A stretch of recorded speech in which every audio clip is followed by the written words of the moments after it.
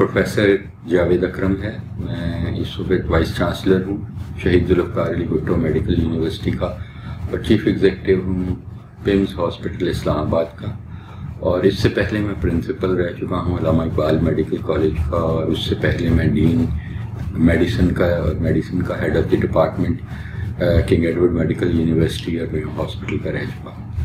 Basically uh, मैं अक्रम medical पे practice करता हूँ और बेसिकली uh, मेरा जो शोबा है वो इंटरनल मेडिसिन है। जिसका मतलब ये है कि तमाम जो मरीज़ हैं जिनको uh, चाहे इन्फेक्शन हैं या नॉन इन्फेक्शन डिज़ीज़ हैं जैसे डायबिटीज़ है ब्लड प्रेशर है हार्ट की प्रॉब्लम है गुर्दे की प्रॉब्लम है इनको तमाम को मैं देखता हूँ। और अल्लाह ताला बहुत मरतबा मुझे मेरे ज़रिए उनको शफा पहुँचती है, देने वाली ज़ात तो अल्लाह ताला है शफा।